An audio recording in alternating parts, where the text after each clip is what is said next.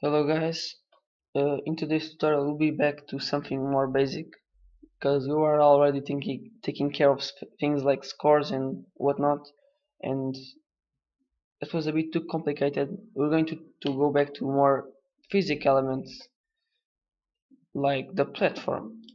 Today we'll be making one of those scrolling platforms like in those in the Mario levels that were in the castles where the platforms would always go up and and will disappear and more will be created.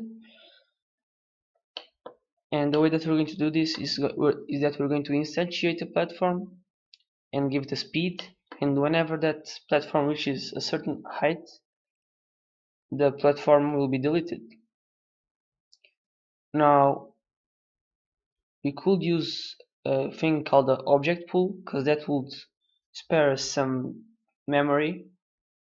But because I don't know how to do that object pool yet I'm not going to.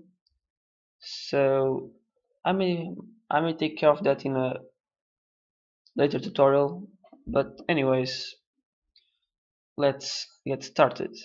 I've already imported the platform into my sprite I'm going to change the pixels to units to 20 these two point and true color apply put it in here and I'm going to give it a box collider add component physics 2d box collider 2d then I'm also going to give it a rigid body 2d and make it kinematic and with a fixed angle so that it doesn't interact much with other elements.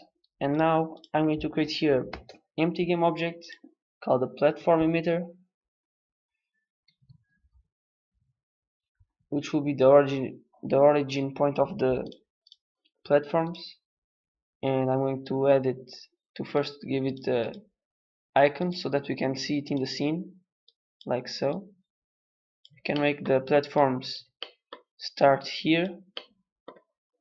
And let's add a component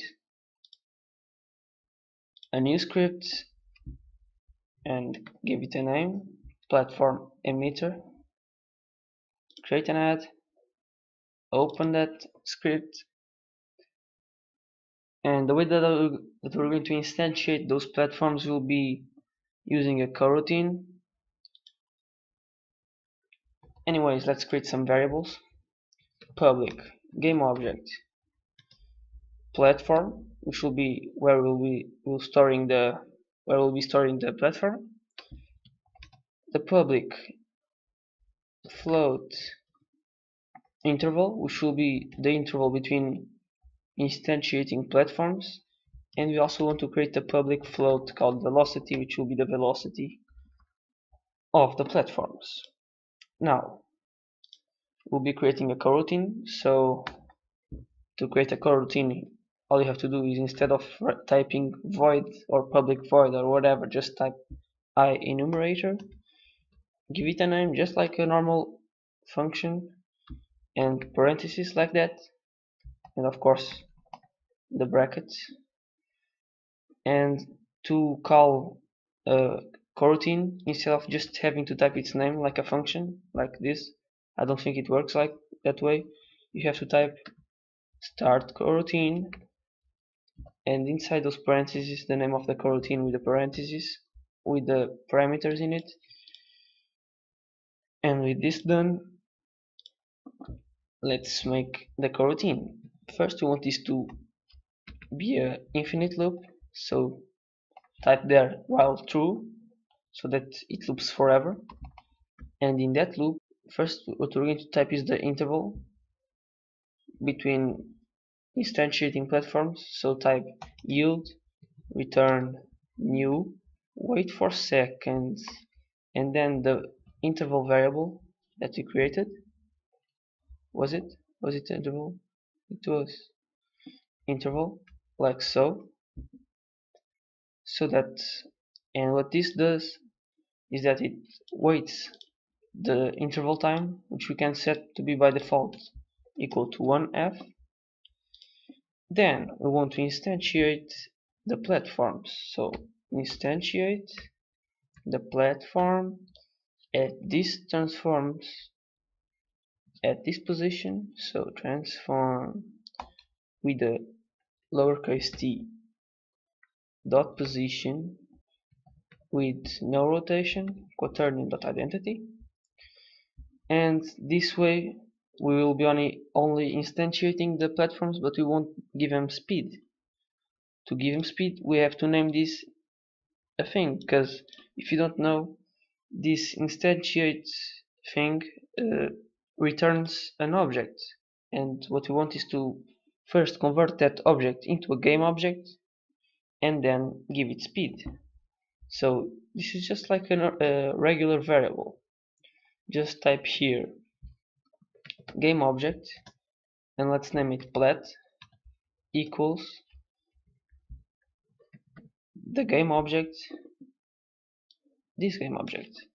This way this thing converts the object into the game object and it stores it on this variable here the plat variable. And this plat will be every single one of these platforms that will be coming out of here. Anyways let's give that plat uh, that platform a speed. So platform or plat or whatever dot rigid body 2d dot velocity.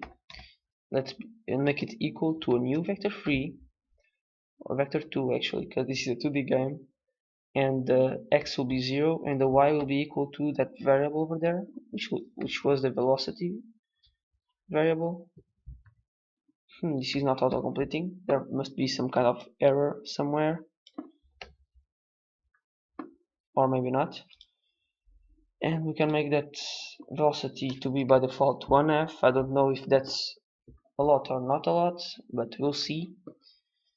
And probably if we first drag that platform prefab into there and because we don't have already created that prefab just uh, grab the platform prefab into the prefab folder and then click on the emitter and in this field over here just drag the platform prefab into there.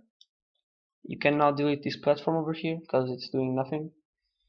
And now if we play this it should be instantiating platforms at every one second. Let's see. Okay they are instantiating. Let's see how they interact with that. They keep moving just like we wanted because they are kinematic. Okay and with these two variables that we've created we can do whatever we want. We can change the velocity. You can change the interval. We can even give it negative velocity so that it travels in the other direction.